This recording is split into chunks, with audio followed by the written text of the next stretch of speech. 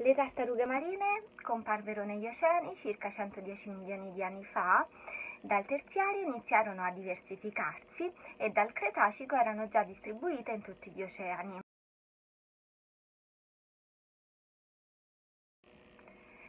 Dalle quattro famiglie di tartarughe marine originarie, oggi ne sopravvivono solo due, le chelonidi e le dermochelidi, rispettivamente con sei e una specie.